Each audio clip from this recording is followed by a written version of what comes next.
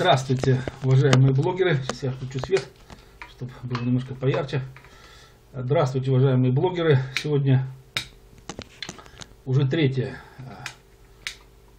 3 февраля. Блогер из Перми, бывший следственный работник, сотрудник опальный КГБ СССР Бессонов Алексей Борисович. И вот сегодня тема поста, вы знаете, вот я вспоминаю 90-е годы, да, и вот сегодня часто приходится слышать, что, мол, скажем, ты пошел не в ту команду, там, что надо было, так сказать, в те годы вовремя выбирать, на какой стул садиться и так далее.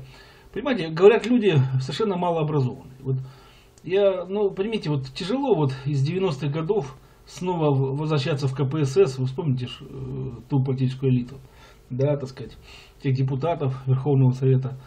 Но, мягко говоря, трудно, кто-то из них понимал, что, что, что в стране происходит, и, так сказать, каковы перспективы развития той системы, которую они, в общем-то, дружно и похоронили, так и не начав реформ. Так и здесь. Вы знаете, я, э, так сказать, ну, во-первых, вот сейчас все умные.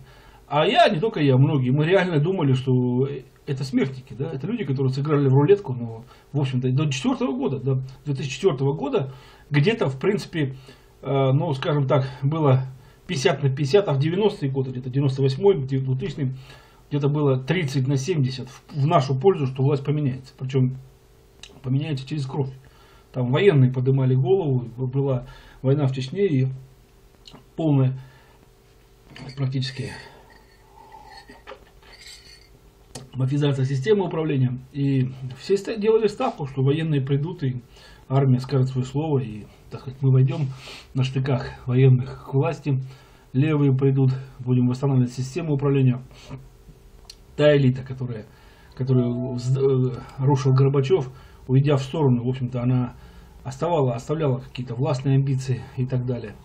И поэтому я, я не хотел идти в эту власть. Я, я, я понимал прекрасно, что у них шансов никаких нету. Что вот, вот сейчас военные возьмут, что-то будет заваруха. Она, и она была реально. Рохлин готовил переворот. Илюхин, ну, долго рассказывать, я думаю, что со временем когда-то что-то появится. Ну, Илюхин не пират готовил, а военное собрание, совещание готовил. Армия готовила. Почему он так ее всю раздол, раздолбал, армию? Сердюкову поставил. Он боялся реального переворота в стране. И так далее. Поэтому те, кто сегодня, вот, ну, во-первых, вот эта элита, да, которую сегодня называют и так далее, управленческая, тот же Басаргин и так далее, ну, это большевики. И, откровенно говоря, я просто... Ну, понятно, что власть не выбирают, и страну не выбирают, времена не выбирают, в них живут и умирают.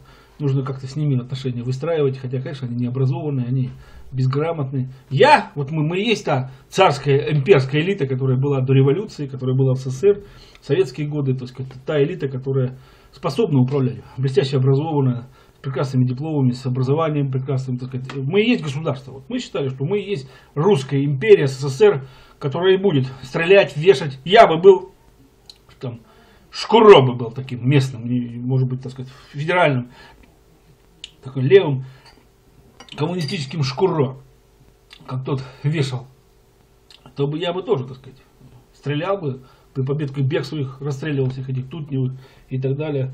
И ничего, я бы, так сказать, лекции не читал однозначно, потому что у меня другая ментальность, другая психология, другое воспитание. Я, так сказать, слуга государя, слуга империи. Так воспитан, так, такова система воспитания, ментальная система образования такая. Но, к сожалению, вот они, они победили. Они победили, но дело в том, что экономикой они не занимаются, у них нет экономики, у них нет системы управления, ни по одному показателю вы увидите.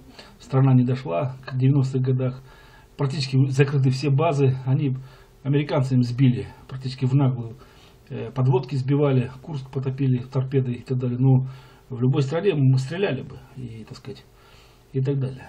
Но вот так, поэтому те, кто умные, так говорят, что вот не той, что вот она элита, вот, так сказать, но эта элита бы вся получала пожизненные сроки. Я бы их даже на почте выстрел бы их не увидел. В следственной части, может быть, СИЗО где-нибудь увидел раз и все. Никакая это не элита, мерзавцы и подобные. Это Басаргин, я бы отправил ему там бы в Азбесте отбывал бы наказание пожизненное вместе со своими всей командой.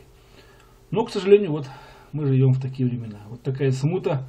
И поэтому настоящие герои, настоящая элита, настоящие, так сказать, патриоты Родины, они вот здесь сидят, в блоге говорят, а это шваль, так сказать, что-то там изрекает, какие-то мысли. Страны нету, империи нету, а они, так сказать, какие-то мысли. Поэтому я, мне наплевать на них было. Я же, сказать, на них смотрел через призму э, прицельной мушки. Думал, что будет команда, и на законное касание будут стрелять. Потому что, к сожалению, у нас ничего государства не делается. По убеждению, мафию нужно душить. Или вы ее, или она вас. Или вы ее загоняете, в, так сказать, в подворотню и держите, так сказать, в ежовых рукавицах.